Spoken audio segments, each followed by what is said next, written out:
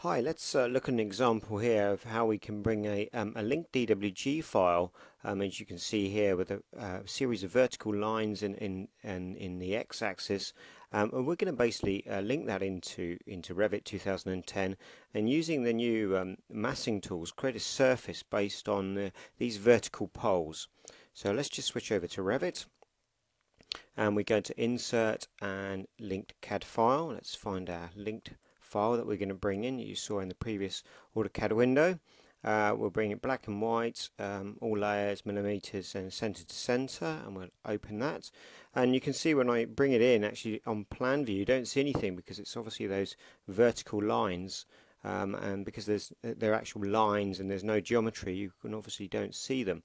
So let's pop the uh, uh, 3D view up and now you can see the link DWG if we select it you can see there it tells me it's a, an imported link DWG. Okay, so the first thing we need to do, um, we're going to go to massing um, in in place mass, and you get the normal warning message about not being able to see the mass, so it needs to enable that so you can actually see it.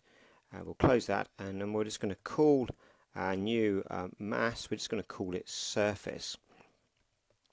Okay, so once we've done that, um, we're going to use um, a reference line okay and I'm actually going to use a spline passing through points. So as long as um, I use that I can actually snap to the end of these uh, DWG lines here okay? So we're just going to keep uh, snapping on to the end of the DWG lines. Just take a little time for me to uh, work my way through these. Okay and just coming through here almost there and then we'll do this last one here. Okay so once we've done that if we go to modify and what we'll do is holding uh, the control key down we'll select all these splines.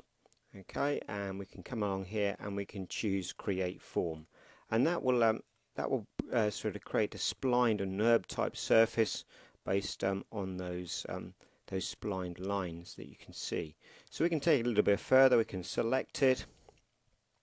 Okay, and you'll notice when I select it, I you know so you don't get the subdivision tools. So if you select it and then tab select it, you'll then get the divide tools. We're just going to naturally divide it um, based on 10 by 10, and we can come along here uh, with our surface representation. And I'm just going to put the original surface back on with with the node points, so just sort of see what's going on here go. So if we could take it a little bit further, we could select it and, and we could actually add a pattern. Okay, but we're gonna we're gonna leave it like that now for the time being. Just going to switch back to AutoCAD and I'm going to start to make some changes in that AutoCAD file. So to select this, we're going to increase the length of this pole here, come along here and increase the length of this one, uh, and marginally just, we'll be a little bit extreme with that one there. Okay, and then finally we'll pick this one here and just uh, adjust that. Now if I save that file, it's obviously updated that DWG.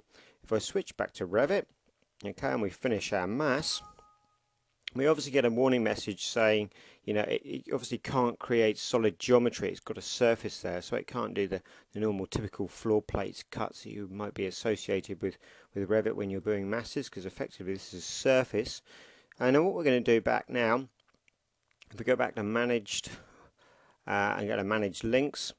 And we're going to pick that DWG up and we're going to effectively reload that DWG so just come along here and reload it.